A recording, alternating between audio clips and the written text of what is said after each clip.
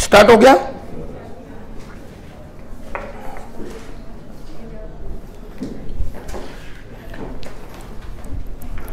So, what I said, you have come to the right place.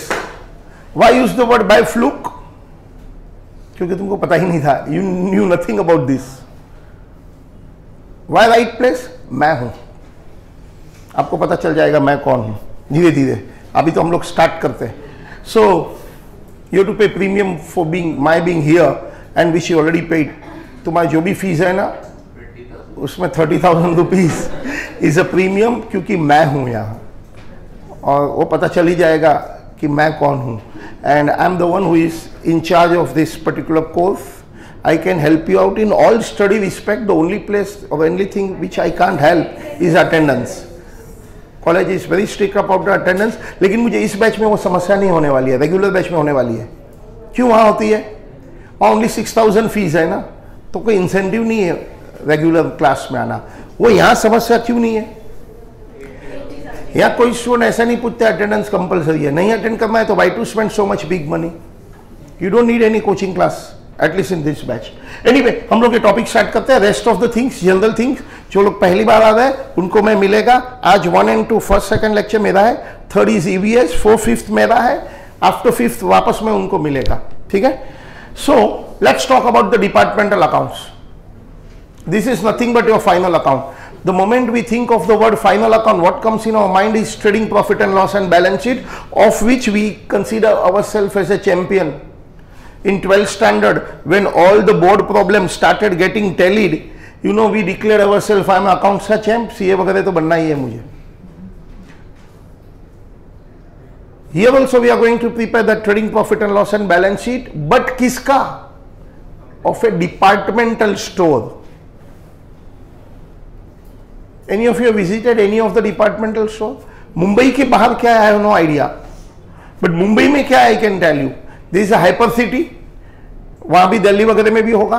Hyper city is in Goregaon Malad link road big super market extraordinary big super market by Indian standard at least not by American standard but by Indian standard a big super market in that super market we get grocery we get clothes we get electronics we get stationery we get toys और बताओ क्या क्या होता है? Sweetmeats मिठाई chappals and you name it you have it gold jewellery ठीक है so that's a departmental store the different different sections and departments now as a owner of that department owner of that departmental store what i want मुझे क्या चाहिए मैं मालिक हूँ मुझे क्या चाहिए किस प्रकार की इंफॉर्मेशन चाहिए I want profitability of each department separately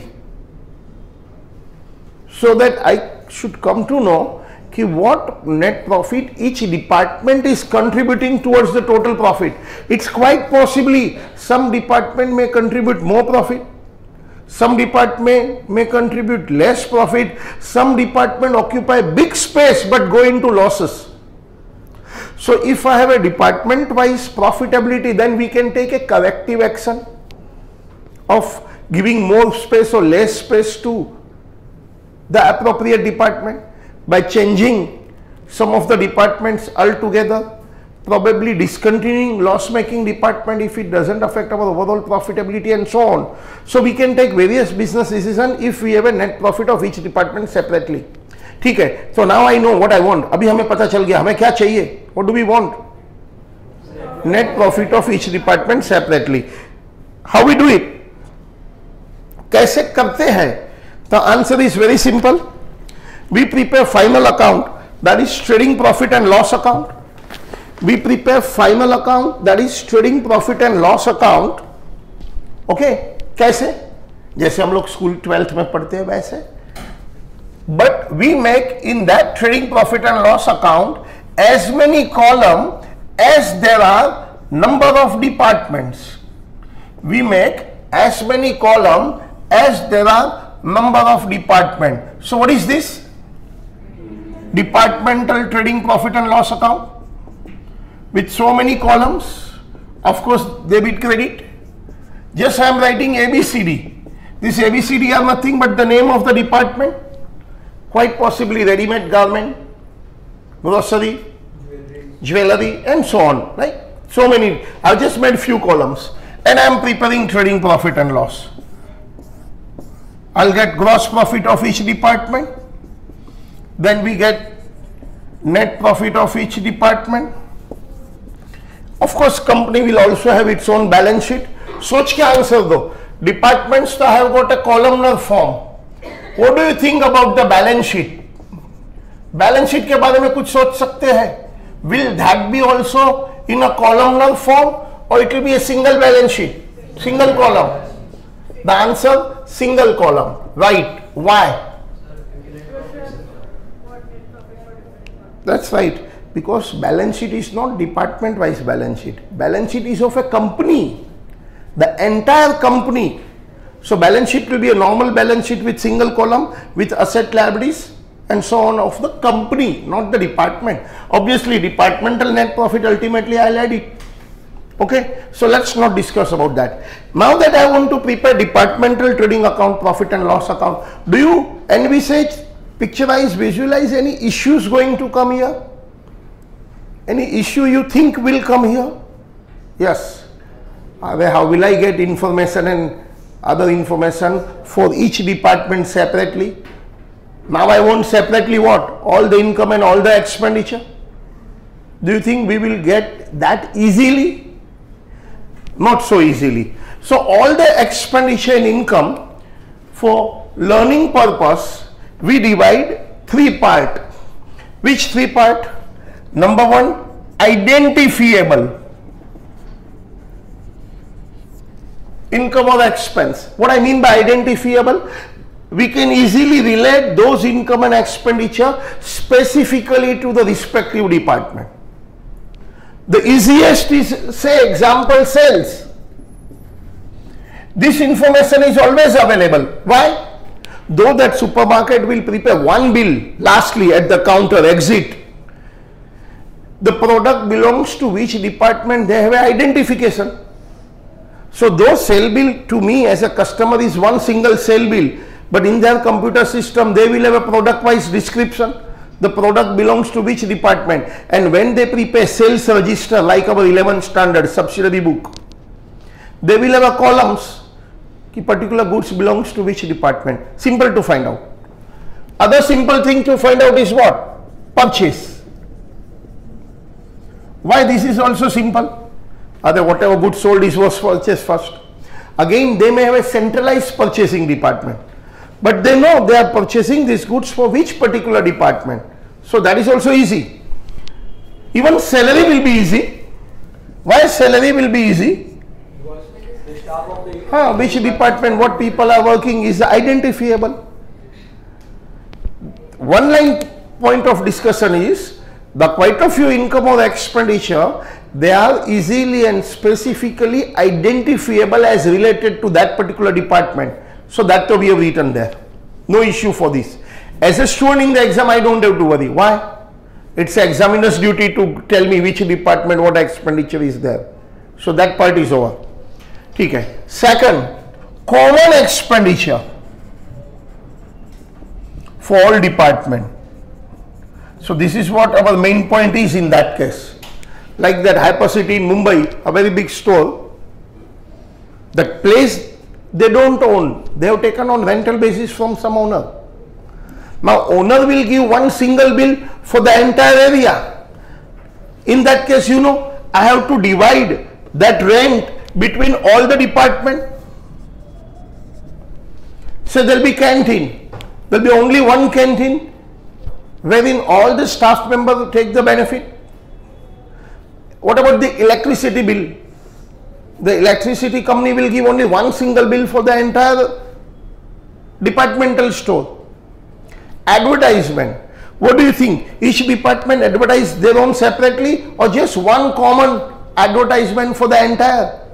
One common, say 15th August, big sale, big day and sales day and whatever thing we call it. So one single sales bill, other one single advertisement bill for all the department. So all these common expenditure, you tell me what should I do? तुम बताओ fast. We have to suitably divide. Now, what is suitably or equitably is a point of judgment, subjective discussion. So let's try to get the best possible way of dividing and this best possible way of dividing has to be given in the question paper. So tell me, I get a one single rent bill. Imagine you are the owner of a departmental store or the accountant of a departmental store and you want to divide. We have 10 department in that entire, we have got say 50,000 square feet area. Some department occupy only 1000 square feet. Somebody occupies only 200 square feet. Somebody occupies 10,000 square feet. So what do you think should be the basis for distribution of this rent among different department. You tell me, don't worry about right wrong. There is nothing right wrong. It's my department. I know how to divide. So you are the owner. Tell me fast. What do you think should be the best way of dividing? Just imagine, ये college. Right? This is a college. Our classroom has got 60 students capacity. जहाँ दो दो जन बैठे हैं ना luxury में, थोड़े दिन के बाद तीन तीन स्टूडेंट बैठेंगे।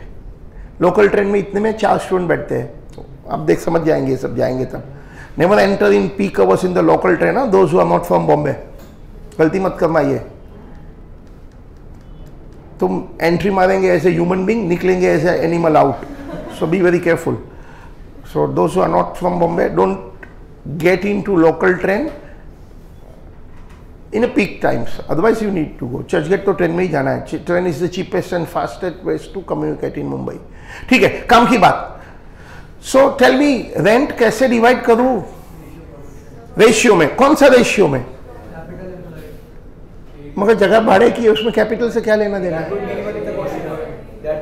हाँ मतलब वही क्वेश्चन ही मुझे बनाना है. वो उस्ताद है, मारवाड़ी है. सब शॉर्टकट ढूंढते हैं उन लोग.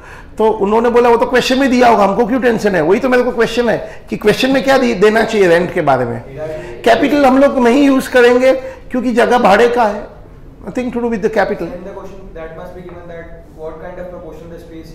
हाँ so coming to the point the best way easiest way simplest way area occupy so that's easiest way suppose हमारा क्लासरूम इतना है पड़ोसी का क्लासरूम डबल द साइज़ है एग्जैक्टली exactly डबल तो obviously I should bear half the rent then the neighbour so the easiest way is area occupied that's easiest way for the examiner real life में इसमें और एक point add होगा Of course, one is area, small area, small rent, big area, big rent.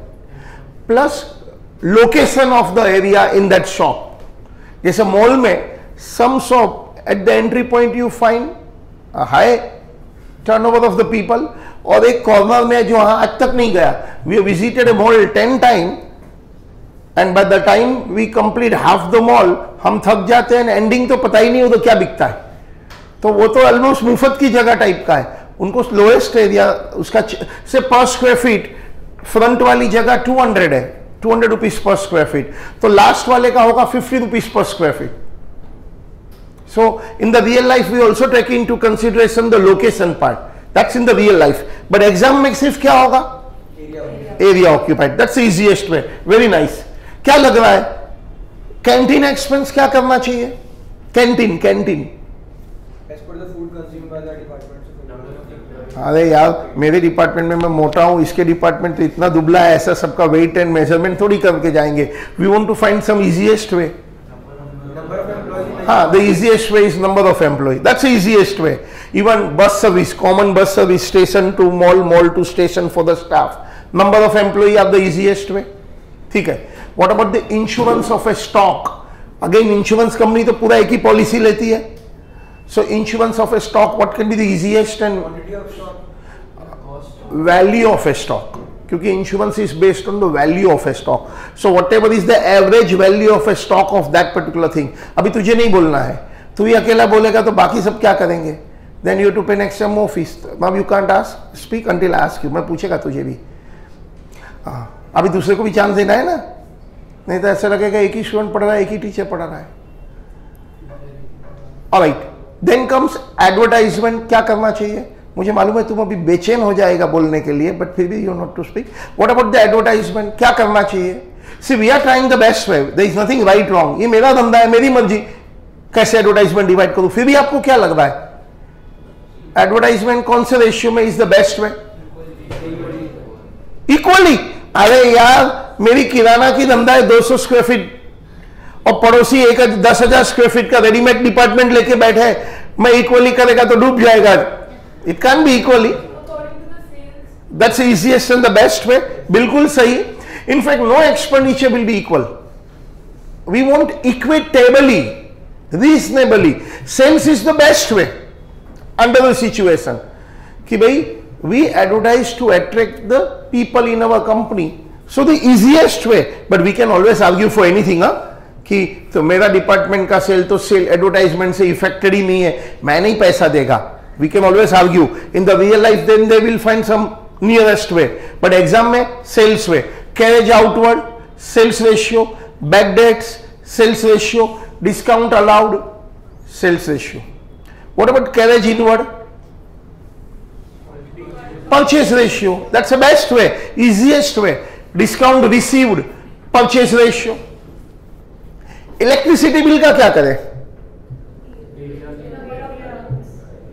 so one way is area वो आप सोच सकते हैं one way or better way slightly better than the area based on number of light points based on number of light point ये light point है जो दिख रहा है मेरा लाइट पॉइंट 20 है पड़ोसी जो एरिया डबल है उसमें 40 होगा so number of light point कभी कभी based on horse power consumed power consumed because मेरा डिपार्टमेंट एसी वाला है and one AC equal to so tube light the neighbor department doesn't have AC, so even that is factored into it. But our ultimate aim is to go near to the consumption of electricity. That's our ultimate aim. And the easiest way to go near to the consumption of electricity is based on number of point and the varieties of a point. We can define something like this. One fan is equal to 10 tube light point. One AC may be equal to 50 tube light point, whatever it is. In short, we try to measure the nearest thing. That's a point. So summary is, you don't have to remember this. That's examiner's problem. Identifiable expenditure, no issue, right straight. Common expenditure for the departmental type of activity, divide in the best possible way. Third, सोच के answer देना interest paid on the loan taken interest received on the investment made donation क्या करना चाहिए से donation interest received on the investment made don't think of finding out the basis. मैंने बोला, आपको क्या लगता है? क्या करना चाहिए? दैट्स माय क्वेश्चन क्या करना चाहिए? So think out of a box छोड़ो, हमारा धंधा है, हमारी मर्ज़ी, क्या करना है? बोलो, क्या करना चाहिए? आपको फ्रीडम दिया गया है। You can devise your new accounting system पता है, जब तुम ट्वेल्थ में ये भाई साहब है ना, रायपुर वाला, वो इकोनॉमिक्स पढ़ता था ना ट्वेल्थ में इलेवंथ में, उसमें लिखते हैं ना रॉबिन्सन डिफाइंस इकोनॉमिक्स एस ऐसा है कि नहीं है? रॉबिन्सन की डेफिनेशन होगी ना, अभी भी इकोनॉमिक्स की कि नहीं है? अरे है या नहीं है। कितने लोग बोलते नहीं है? नहीं है ऐसा कोई? एटलीस्ट हम लोग पढ़ते थे तब तो था। रॉबिन्सन डिफाइंस इकोनॉमिक्स तुमने पढ़ा है ना? Demand supply what is economics तो मार्शल डिफाइंस इकोनॉमिक्स मार्शल है ना? चलो मार्शल तो है रॉबिन्सन नहीं है तो छोड़ो ना। तब ये भाई साहब क्या सोचता था पता है? एक दिन मेरा भी नाम आएगा। क्या नाम है तेरा? फर्मेन हाँ नहीं नाम क्या है? हाँ सक्षम। सक्शंस defines account S dash dash dash या तो एस पद सक्षम accounting is dash dash dash ऐसा जो तुम सोच रहा था ना? खाली हाँ बोल या तो ना बोल? मुझे मालूम है तू सोच रहा था। पहले दिन मैंने बताया था ना स्टार्टिंग में क्या बोला था? कि तुम जो सोचने वाले हैं ना, बहुत कुछ बातें मेरा ट्रांसमीटर पकड़ रहा है। तो अभी हम लोग तुम्हारे बारे में ही बात कर रहे हैं। अब तुम बताओ इन्वेंट योर न्यू ताकि हम बोले नेक्स्ट बैच को सक्षम ने ऐसा बोला है डोनेशन का क्या करें इंटरेस्ट ऑन इन्वेस्टमेंट का क्या करें? जल्दी बोलो, अभी मैंने तुमको बोलने को बोला है। क्या करना चाहिए? जल्दी से बोलो। ऐसा नहीं कि इसको ही बोलना है, पीछे वाले लोग भी बोल सकते हैं। वापस बोलो। रेट फिक्स कर सकते इंटरेस्ट ऑन कैपिटल सपोज़ 12% फिर जितना कैपिटल पर डिपार्टमेंट ओके और कोई डोनेशन का क्या करें? चलो। डोनेशन डोनेशन सेल्स फिगर में करें? राइट नहीं नहीं. Donation is not like advertisement ठीक है. The easiest way more appropriate way this expenditure in income are not at all for departmental activity donation is nothing to do with my nature of business Interest on investment has nothing to do with my departmental activity. Those expenditure which are not influenced by departmental manager, those expenditure like donation, sometime legal expenditure, corporate legal expenditure, corporate AGM expenditure, interest paid on the loan taken, interest received on the investment made, profit or loss on sale of investment, preliminary expense written off, goodwill expenditure written off, then we may not divide at all. What we do?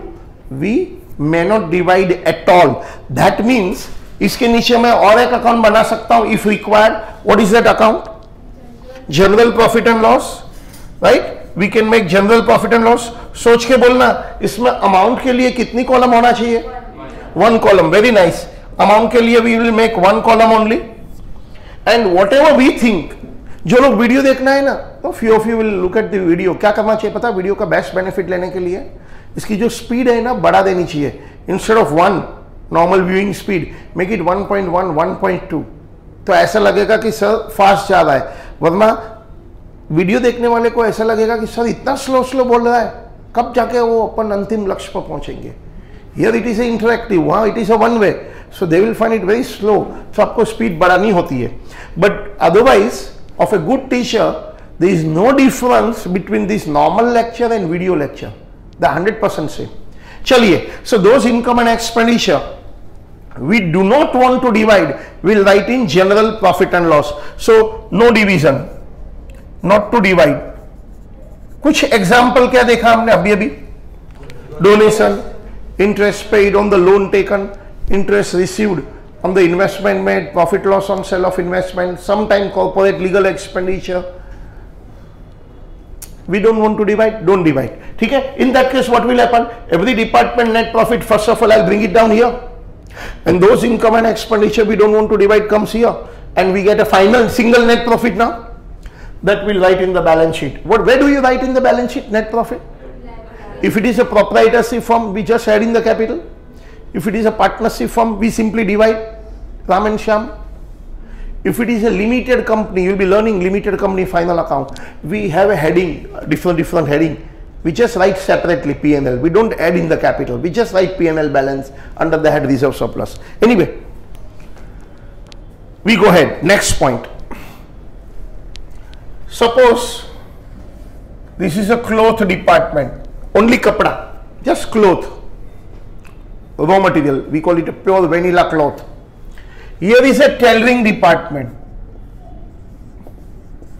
वो क्या करता है? Make to order कोई customer आके बोलता है, हमारी शादी है you know and we want to make some good outfit तो बोलता है, एक काम करो, कपड़ा तुम पड़ोसी से ले लो या सिलेक्ट कर लो। I don't have cloth that's a neighbour I help you out stitching and all separate department tailoring department and cloth department ठीक है? So tailoring department is like a readymade garment department समझ लो. But they don't deal in cloth so कोई customer आया output sample लगा है tailoring department में. उसने बोला, मुझे ऐसा ड्रेस बना के दो. ना what tailoring department will do they will get the material tailoring customer को भी नहीं बोला select and go to the neighbour department buy the cloth and give me बोलता है, वो सब हम करेंगे. आपको इधर बहुत सारा ड्रेसेस लगा you select and will keep it for you as per order anyway so tailoring department को एक रेडीमेड का ऑर्डर मिला है कस्टमाइज का ऑर्डर मिला है। डिस्प्ले है, उसको खाली टिक करना है, आजकल तो सब कंप्यूटराइज है। मॉडल नंबर फाइव टिक कर दिया। ठीक है, पंद्रह दिन के बाद डिलीवरी लेके जाना। माप ले लिया। ठीक है, अब टेलरिंग डिपार्टमेंट को तो कपड़ा लगेगा ना? They don't deal in cloth क्या करेगा? वो बाज़ार से लेके आएगा कपड़ा? नहीं। They will go to the neighbour department buy the cloth stitch the cloth और अल्टीमेटली कस्टमर को बेचेगा। So the point of discussion is many a time one department transfer goods to another department अरे जैसे मिठाई की दुकान है, उनको भी कुछ स्टेशनरी लगेगी, अंदर ही है मिठाई की दुकान। कपड़े वाले को कुछ स्टेशनरी लगेगा, उनको भी स्टेपलर लगेगा नोटबुक लगेगा पेन लगेगा। They can go into the market and buy for them all option go to the stationery department tell them इतना भेज दो हमको. So again there is inter departmental transfer so we are discussing inter departmental transfer so A is a cloth department B is a tailoring goods of fifty thousand rupees five zero cloth of fifty thousand rupees five zero is transferred by cloth department to tailoring department बताओ मैं entry कैसे करूँ? I repeat again goods of the cloth of fifty thousand rupees is transferred by cloth department to tailoring department by the way, जब अपना time खत्म हो जाएगा ना लेक्चर का 8:36 तब मुझे बताना हाँ? क्योंकि मेरे पास नॉर्मली घड़ी नहीं होता है मोबाइल से मैं टाइम देखता हूँ, लेकिन मेरा मोबाइल उधर है। कितना बजा अभी?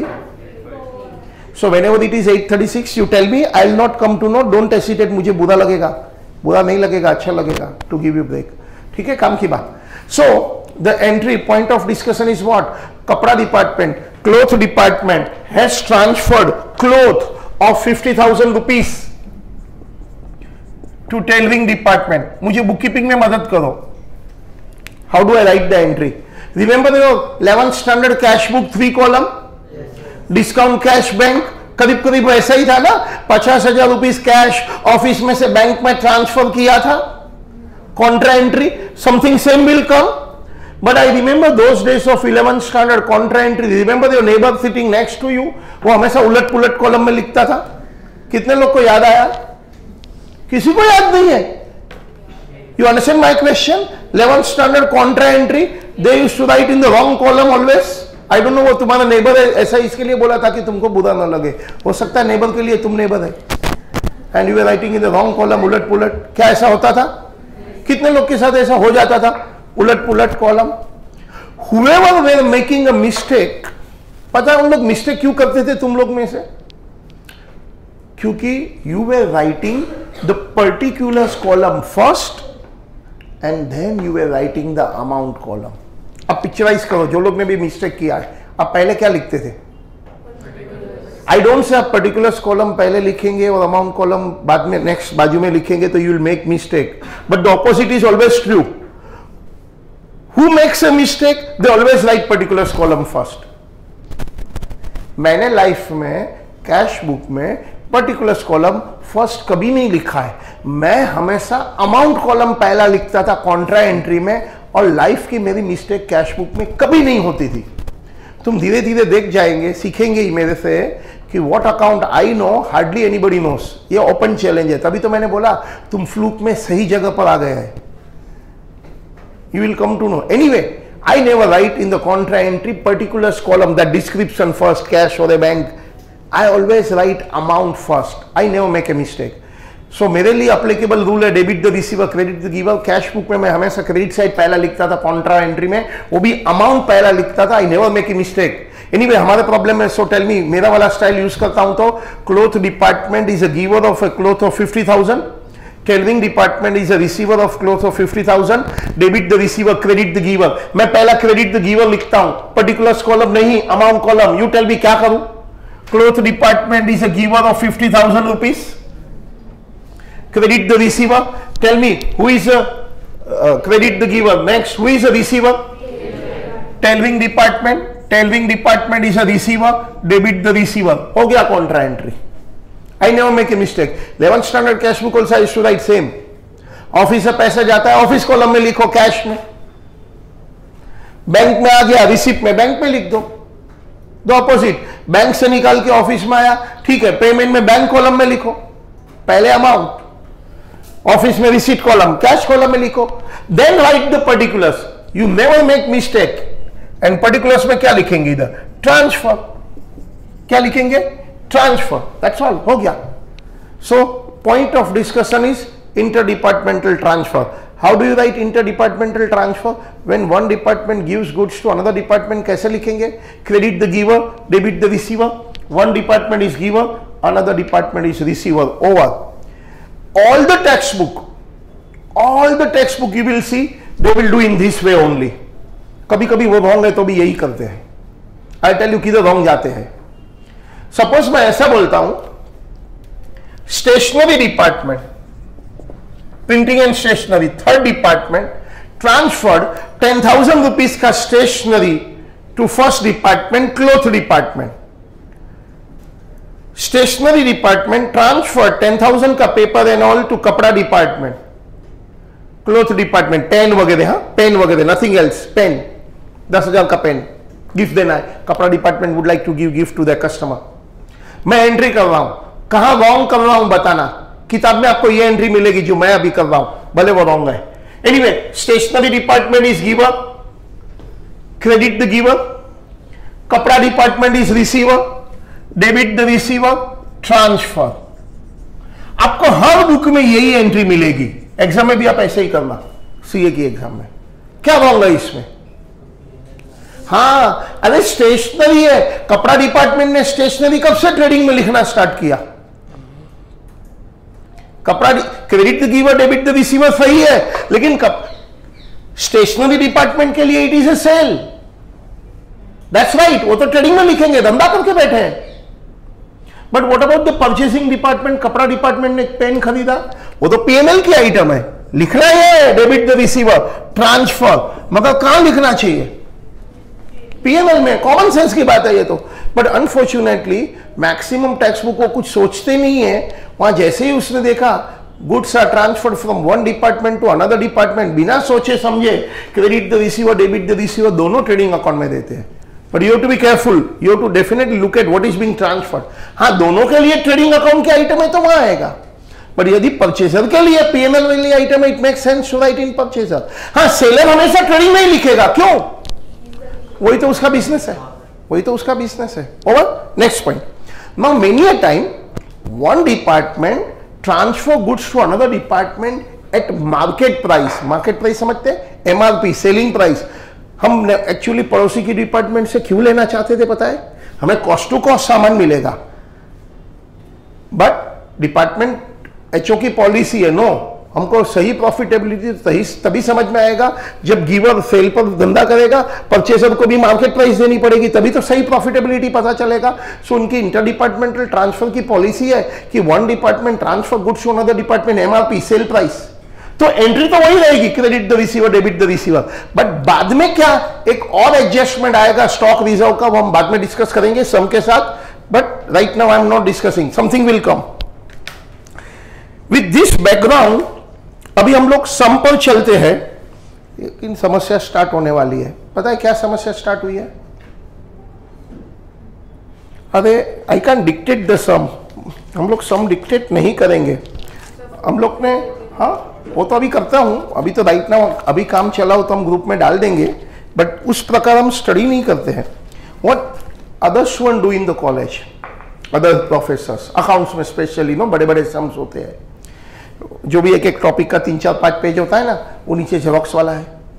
वो वहाँ दे देते हैं और स्टूडेंट दो तीन चार पाँच सात आठ दस रुपया जो भी है वो खरीद लेते हैं। Okay that's what other teachers too मुझे खाली उसमें एक ही समस्या है। पर पेज वहाँ कॉस्टिंग बहुत ज़्यादा लगती है। हम लोग सपोज़ मैं, हमारा जो कोई रेगुलर जेरोक्स वाले से कराता हूँ तो सिक्सटी सेवेंटी पैसे पर पेज में होता है हमारे को because we go for bulk and यहाँ नीचे मुझे लगता है टू रुपी पर पेज लगता है। तो दस पेज का कहाँ बीस रुपया और कहाँ छः रुपया, सात रुपया? Big difference is there so तुम क्या पसंद करेंगे? नीचे वाले को ऑर्डर दे कि हम लोग और कोई सॉल्यूशन निकाले? तो और कोई सॉल्यूशन में मुझे दो चार जेरोक्स वाले से है ओनली फिर हमारे में से एक दो जन को वॉलेंटियर बना के बोलेंगे, तुम सबका कलेक्ट करके इधर कॉस्ट डिस्ट्रीब्यूट कर डालना। दैट्स व्हाट मेरा दिमाग चल रहा है। आर यू फेयर जो भी पाँच दस रुपया आता है पर टॉपिक या तीन चार रुपया, या बारह रुपया, साथ में पूरी बुक ऐसा बना दी ऐसा पूरी बुक बना दिया तो it will cost you slightly more बीस तीस रुपया, क्योंकि वो साथ में हो जाता है। ऐसा करना है तो मैं तुम्हारे लिए हमारा जेरोक्स वाले से प्रिंट करके लेके आता हूँ because we get all this discount क्या पसंद कर रहा है? लेके आऊँ मैं ऐसा ऑर्डर दे के ही। जो भी कॉस्ट आएगी, हम लोग शेयर कर लेंगे। दैट आई कैन डू उतना वॉलेंटरी में कर सकता हूँ तुम्हारे लिए।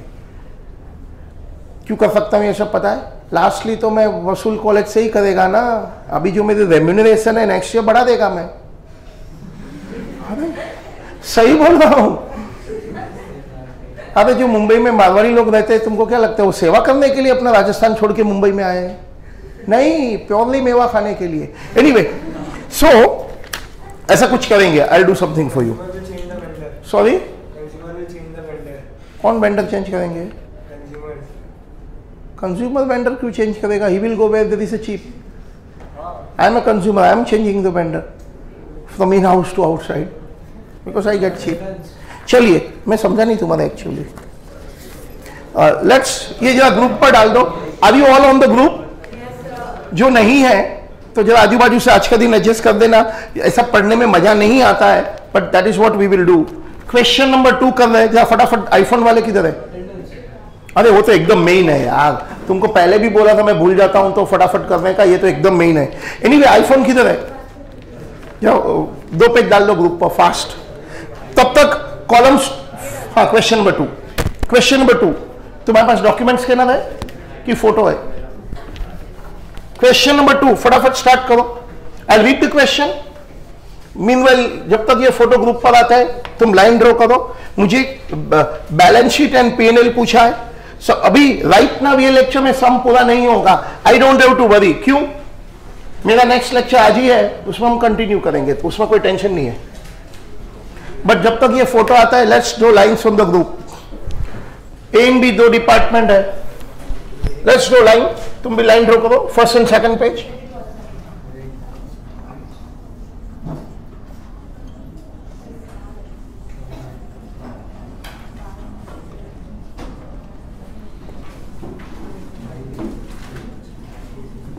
पता है this class is good in all the respect except main thing क्या?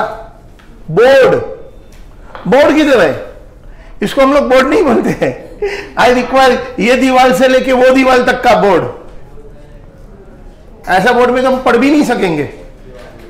एंड मज़े की बात है वो सनमाई का के ऊपर मेरी ये पेन से लिखेगे नहीं नहीं तो उधर भी लिखता था मैं तो। So I have big issue of board here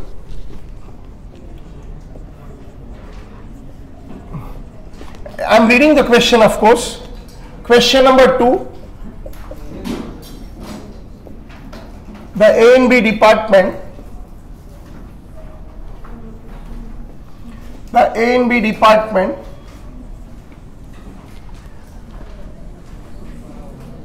You will require 10 lines for trading account.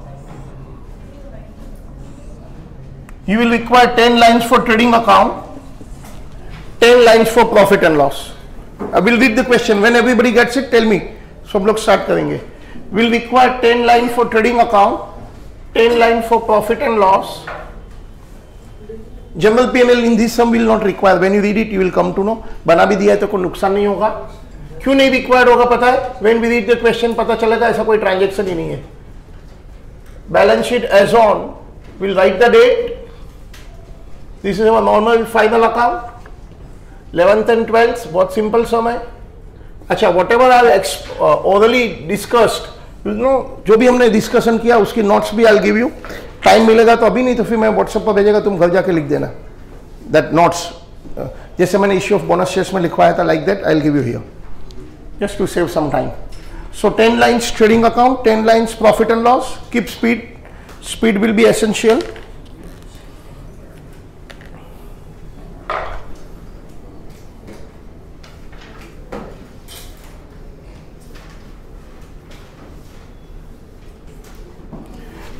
ऐसा कोई इशू नहीं जिसको रोल नंबर नहीं मिला अभी तक। ओ, वो लोग पीछे लिख देना रोल नंबर नॉट अलॉटेड पीछे नाम लिखना। ऐसे roll number I bring it office दस बजे के बाद खुलती है। तो otherwise you can get the roll number from counter number 11 and 12 बाहर की साइड से। From counter number 11 and 12 from outside you can get the roll number should I read out the question start करें reading calculators are allowed so you need to bring the calculator calculators are allowed in the annual exam. From 12th onward from up to 12th standard in bombay board also calculators are not allowed. But after 12th standard including in the college exam ca exam mba exam everywhere calculators are allowed. So you are supposed to bring it also. You don't need scientific calculator. Don't spend big money on the calculator. It's a normal calculator of 100 200 rupees. Scientific calculators are not allowed. Normal calculators are allowed I'll read the question all of you have got. If you don't have the question, please look at the friend's mobile, but we require it.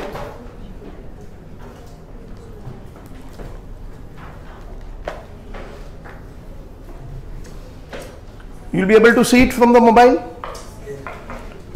जो लोग video देख रहे हैं उनको ये चिंता नहीं है क्योंकि गूगल ड्राइव पर से आप डाउनलोड कर पाएँगे यूट्यूब पर those are seeing this video will download this PDF file and you will have a question with you soft copy Shall I read it? आपके पास है क्वेश्चन लाइन तो ड्रॉ होते जाएगी don't worry from the following trial balance prepare departmental trading profit and loss account for the year end the December 2004 and balance sheet on that date so 31st December 2004 if I talk in terms of exam view point 90% percent of the question in the exam we ask only trading profit and loss Balance sheet is very rarely asked. In CA, ICWA, company secretary exam, balance sheet is never asked. They ask only trading profit and loss. College exam, balance sheet is sometime asked. The purpose is to test your knowledge about the expenses and all. So balance sheet is not relevant for that purpose. Professional exam, they don't ask balance sheet. Here college they can ask. Let's go further. We have got opening stock. How many departments are there in the question? पढ़ के देख सकते हैं। Then we have purchase sales wages. We have rent salary light and heat. आप फटाफट attendance pass कर देना। Then we have discount allowed received advertising carriage inward furniture machinery data creditor capital drawing cash and bank एकदम 11 standard की balance sheet दिख रही है except that किधर किधर ए एंड बी डिपार्टमेंट है। Otherwise it's 11 standard final account very simple sum A, rent, light heat are allocated between factory and office in the ratio of 3 is to 2. ये क्यों दिया है ऐसा? वापस पढ़ो जरा just explain me rent light you got the question mobile तुम्हारे पास है? तो उनको बताओ ना। अरे मोबाइल बताओ उसको। उसके पास नहीं है इसके लिए। अरे जिसके पास नहीं है आई होप नेबर के पास है। Last two at least one of you have कितने लोग के पास नहीं है? ग्रुप में नहीं है। जैसे एक और how many of you are not on the group तो तुमने कहाँ से देखा अभी? यू टुक द हाँ ठीक है। What I am trying to say everybody has got the question वो इंपॉर्टेंट है। तुम पड़ोसी को बता रही है ना? हाँ। बताओ, जरा बता सकते हैं एडजस्टमेंट ने क्यों दिया है? Rent light heat are allocated between factory and office बिल्कुल सही। अरे भाई, जितना फैक्ट्री वाला रेंट लाइट हीट है, वो ट्रेडिंग में रखेंगे। ऑफ़िस वाला ऑफ़िस में रखेंगे। Very right rent light heat salary depreciation to be apportion between A and B two is to one पढ़िए वापस से क्या दिया? है rent light heat salary depreciation apportion between A and B in two is to one ये क्यों लिखा है? अरे तो लिखेंगे ही ना। जब हमारा डिपार्टमेंटल एक्टिविटी है तो ट्रेडिंग प्रॉफिट लॉस ट्रांजेक्शन तो आई हैव टू डिवाइड तो हमारे को कुछ दिमाग लगाने का ज़रूरत नहीं है। ये जितना भी लिखा है बी में rent light heat salary and depreciation trading का है तो ट्रेडिंग में पीएनएल का तो पीएनएल में but between A and B कौन सा रेशियो में डिवाइड करूँ? Between A and B which ratio should I divide two is to one very right चलिए आगे। Other expense and income are to be apportion between A and B on a suitable basis ये जो rent light heat salary depreciation के बारे में तो instruction दे दिया, भाई, ऐसे ही करना है। बट अदर देन दैट बाकी जितना भी खर्चा बचेगा इनकम बचेगा, वो क्या करेंगे? In a best possible way you divide so हम वो कौन से ट्रांजेक्शन बचाए जब एक एक सीक्वेंस में लेगा, तब देखेंगे। बाई चांस सपोज़ एडवर्टाइजमेंट आया। और हमको तो बोला नहीं है ना एडवर्टाइजमेंट कैसे डिवाइड करो? बोला है सुटेबली तो मैं क्या करेगा? सेल्स रेशियो में डिवाइड करेगा। बाई चांस कैरेजिंग वर्ड आया। जो मुझे बताया नहीं है कैसे डिवाइड करना है what can be the best way purchase ratio discount allowed आया। सेल्स रेशियो डिस्काउंट रिसीव्ड आया। Purchase very nice so you decide your own आगे चलते हैं। The following adjustment are to be made rent prepaid 370 light outstanding 180 depreciation on furniture 10 percent अच्छा ये prepaid rent क्या करेंगे? You know तुम्हारे में से कोई साइंस वाला तो नहीं है ना? इलेवंथ एंड ट्वेल्थ साइंस सब कॉमर्स वाले हैं ना? All right no F I B को में अलाउड होता है. Eleventh and twelfth science can get admission in commerce पूरा टर्म होने के बाद मुझे दो स्टूडेंट बोले, सर, हम तो साइंस वाले थे। मैं बोला, पहले दिन बोलना चाहिए। बोलता, साल भर क्या वो मालूम ही नहीं है। लकीली मैं वो डिवीज़न में नहीं था। सो मेरा नॉर्मल स्टाइल है कि साइंस वाला को है तो पहले पूछो। साइंस वाले लोग भी सीए करते हैं। मेरे हाथ के नीचे आईटी इंजीनियर सीए हो गया है। वो होशियार होता है। उनको कुछ बेसिक सिखा देते हैं। मैंने अभी सर सबसे बात की उस दिन कि एक नोटिस सर्कुलेट करो पूरा कॉलेज में, हमारा क्लास छोड़ के, कि स्पेशली बीएमएस में। साइंस वाला होते हैं, उनको भी तो अकाउंट पढ़ना होता है। And I specialize in that चलिए आगे। सो रेंट है prepaid you know less an asset पता है, पहले एडजस्टमेंट करना होगा। First have to do less an asset जो फाइनल रेंट है ना that we will divide you understand my question मुझे प्रीपेड आउटस्टैंडिंग पहले करना पड़ेगा because then only I can get one single figure and then we have to divide. Same में outstanding पहले करेंगे then we have to divide depreciation के adjustment पहले करेंगे then I have to divide depreciation आगे. And last one is your favourite adjustment life की पहली adjustment final account में कौन सी पड़ी थी? Closing stock trading account credit side balance sheet asset side last वाला ठीक है? आई रेड द क्वेश्चन अब बताओ how do I start the question मैं तो भूल गया हूँ सब. मुझे याद करवाओ अरे हम लोग नॉर्मली ट्रायल बैलेंस से करते हैं। ट्वेल्थ में क्या करते हैं? एटलीस्ट मुंबई बोर्ड बहुत छोटा छोटा सिंपल क्वेश्चन होता है। एडजस्टमेंट है तो they leave line you know एक दो लाइन छोड़ते हैं। They complete the trial balance फिर सब एडजस्टमेंट साथ में कर देते हैं। इसमें मैंने थोड़ा चेंज करना पड़ेगा, क्योंकि how to divide all the expenses तो ऐसा नहीं हो सकता कि ट्रायल बैलेंस पूरा करूँ तो खाली नाम ही आएगा अमाउंट तो रहेगा ही नहीं without dividing so what I will do हम लोग पढ़ते जाएँगे, उसकी जो एडजस्टमेंट है कंसर्निंग डिवाइड ये वो वो भी सब सब साथ में साथ में करना होगा because then only I will get the amount in each column so let's start trial balance fundamental rule वही रहने वाला है फाइनल अकाउंट के। जो what you learn in twelfth standard how many time trial balance transaction come अरे जब हम sum करते हैं, तब ट्रायल बैलेंस के ट्रांजेक्शन ट्रायल बैलेंस के आइटम ट्रायल बैलेंस के आइटम कितनी बार लिखते हैं? One one and only one and adjustment कितनी बार लिखते हैं? Two one debit one credit same rule will be there let's start start करो तुम भी मेरे साथ. कितना हुआ टाइम दस मिनट है। Let's start opening stock let's start अभी what I am doing to make this board smaller board into bigger board देखो मैं क्या कर रहा हूँ? मैंने हेडिंग मिटा दिया। Then only I can make smaller board into bigger board so ये मेरा ए डिपार्टमेंट है। This is my B department obviously ये क्या बना रहे हैं हम लोग? ये ऊपर लिख सकते हैं क्या? ट्रेडिंग हाँ लिख सकते हैं ना trading profit and loss account for the year ended ठीक है ना, अपना काम हो गया।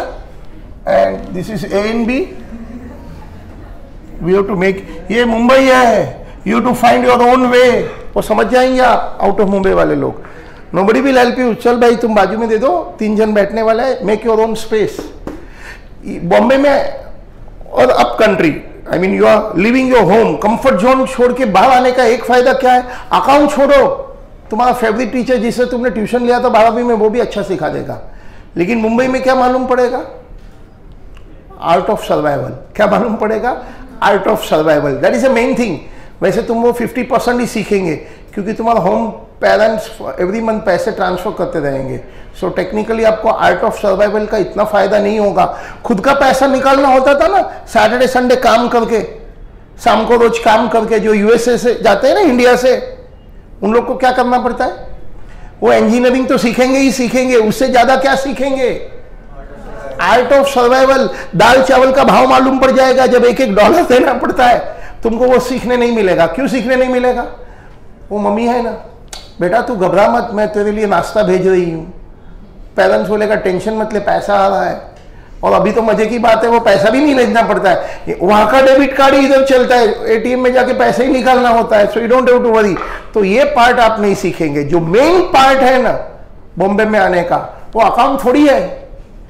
बीकॉम ऑनर्स की डिग्री नहीं है। आर्ट ऑफ़ सर्वाइवल है। अनफॉर्चुनेटली वो आपको सीखने नहीं मिलेगा। The main advantage you will not get India से अमेरिका जाएगा इंडिया से कनाडा जाएगा, तब वो मिलेगा। सो उसके लिए तीन साल का इंतज़ार करना होगा। चलिए let's start then opening stock और तुम लोग भी देखेंगे, मेरे से जो तीन साल में सीखने वाले बुक कीपिंग तो मैं तुमको फ्री में पढ़ा रहा हूँ। बाकी की सब बात ही तुम मेरे लिए सीखने वाले वो मेन होगी मेरे से सीखने के लिए। ये तो सब बोनस है तुम्हारे लिए। Opening stock purchase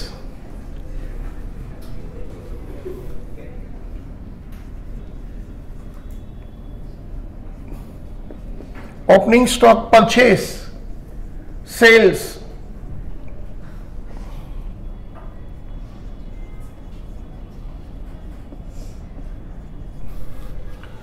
opening stock purchase sales opening stock purchase sales you know हम लोग क्या सोच रहे हैं? नो लूज लूज पेट देते ना जेरोक्स वो तो साल में गायब हो जाएगा। वर्सेस ऐसे स्पाइरल कराते हैं ना तो परमानेंट रहता है। मैं पाँच साल से वापर रहा हूँ अभी ऐसी हालत हुई है। तो मैं सोचता हूँ if sufficient number of pages है कॉस्टिंग अकाउंट सब साथ में एक सिंगल बुक मिलती है तो we don't mind to spend twenty rupees extra पर बुक ऑन स्पाइरल और बीस रुपये एक्स्ट्रा जाता है but you know that becomes a durable ऐसा मैं सोचता हूँ। बट वो पाँच दस पेज का स्पाइरल नहीं बनता। है वी नीड तो मैं कॉस्टिंग वाले सर से भी बात करेगा। इफ़ सपोज़ ही गिव्स मेरे if I talk my point मैं, मेरा पूरा फ़र्स्ट टर्म की बुक है ना ऑल द टॉपिक साथ में दे देगा, इसी के अंदर। तो दैट सफिशियंट क्वांटिटी बनेगी। Not very expensive also less than hundred rupees में अकाउंट कॉस्टिंग सब हो जाएगा। Opening stock परचेजिस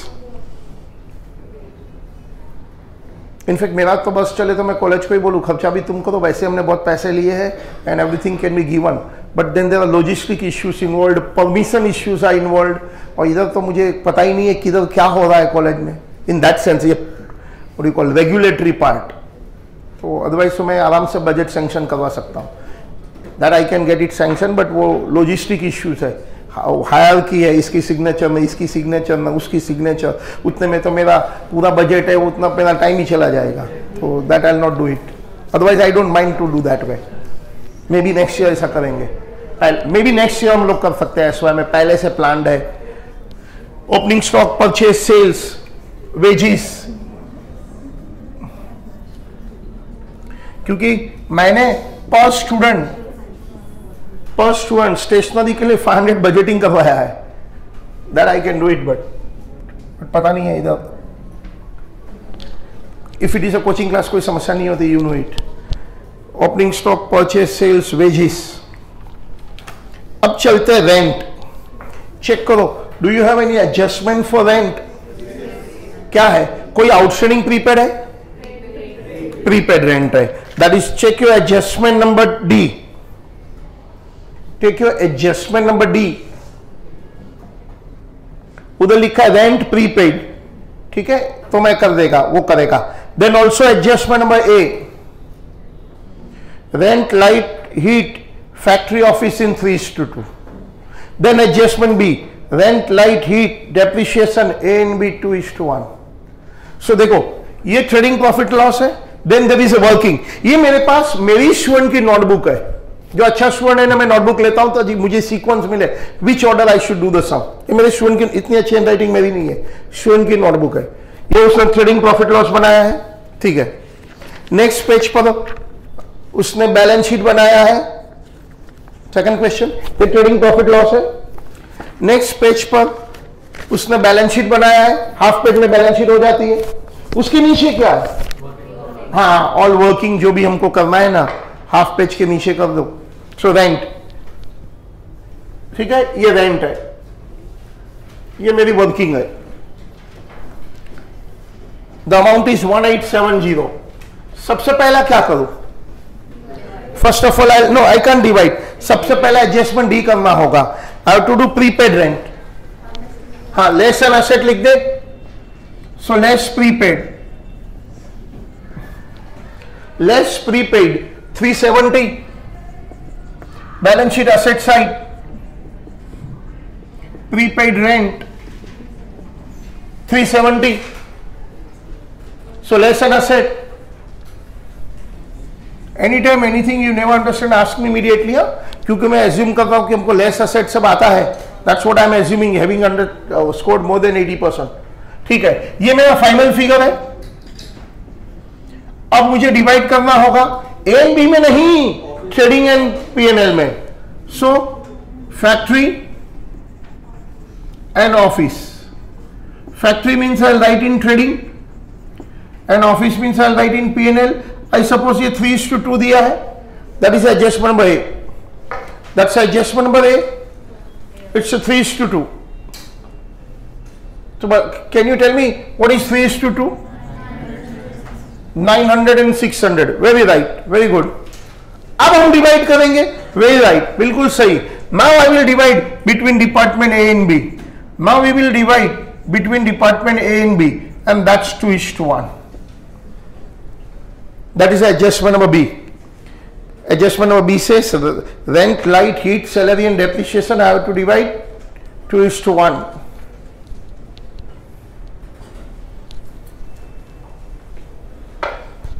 So just dividing 2 is to 1.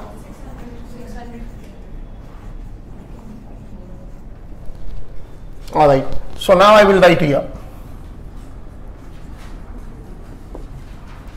It's a factory rent it's office rent here was 600 300 and here is 400 and 200 got it so पहला तो I got the final rent we divided between factory and office and once I write factory of course A and B and A and B चलो prepaid का just credit line में नहीं देगा वो तो हो गया ना उधर अब मैंने फाइनली डिवाइड किया ना। इस फाइनल आंसर नहीं तो मैं डिवाइड कैसे करता था? इधर लिखता था तो। सब कॉम्प्लिकेटेड होता था। This easiest thing time up all right मिलेंगे ब्रेक के बाद।